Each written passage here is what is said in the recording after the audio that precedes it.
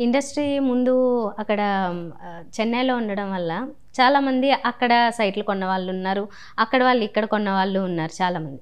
అక్కడ ఇక్కడ. మీరైతే ఆ మొత్తం అన్నీ అక్కడ అమ్మేశారు? ఇంకేం ఉంచుకోలేదా? చెన్నైలోన? మొత్తం. ఇంక మొత్తం ఇక్కడే మీరు. ఓకే. జయలలిత గారు ఇక్కడ ఒక సైట్ కొన్నారు ఒక ఒక సినిమా ఆవిడకి ఒక ద్రాక్ష తోట లాంటిది ఒకటి ఉండేది.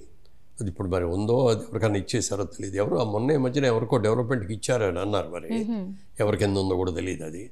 ఫోర్టీన్ ఏకర్స్ ఎంతో అనుకుంటా అది. పెద్ద అమ్మ కార్ రాడ్తో కట్టిన కాంపౌండ్ వాళ్ళు లోపల మంచి హౌస్. అని ఉండేది. ఆవిడ ప్రశాంతంగా ఉండాలనుకున్నప్పుడు వచ్చేసి ఇక్కడ ఉండి ఓ పది రోజులు పదిహేను రోజులు ఉండి వెళ్ళిపోతూ ఉండేవారట అప్పుడు. అప్పుడు ఇంకా నేను ఇండస్ట్రీకి కూడా రాలేదు. మీరు ఎవరిదైనా మన సినిమా వాళ్ళల్లోనే ఎవరిదైనా మీరు కొనుక్కున్నారా? ఇప్పుడు అదే ఫస్ట్ ప్రాజెక్ట్ కేఎస్ రామారావు గారు వాళ్ళ దగ్గర. ఓకే ఓకే కొన్ని ఇంకెవరు లేదు ఓకే రైతుల దగ్గర ఇచ్చి అన్ని డీలింగ్. మీ దగ్గర నుంచి కొనుక్కున్న వాళ్ళు? మా దగ్గర నుంచి కొనుక్కున్న వాళ్ళు సినిమా వాళ్ళు కూడా ఉన్నారు కొంతమంది. కొనుక్కున్నాడు. వాళ్ళు కూడా చాలా బెనిఫిట్ పొందారు.